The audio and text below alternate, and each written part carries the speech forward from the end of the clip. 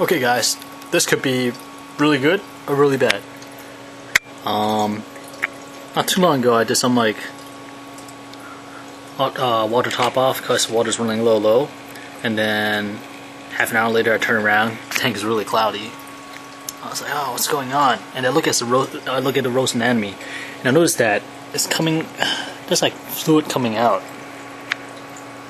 So um, it's either dying and leaking something, or it's releasing sperm or egg, and looks like it might be the, latter because things are coming out right in the middle, and man, it just keeps coming and coming and coming.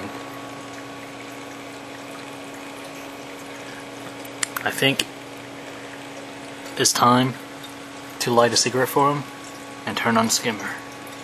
Hopefully that was it. And man, looks like it's almost time for a water change.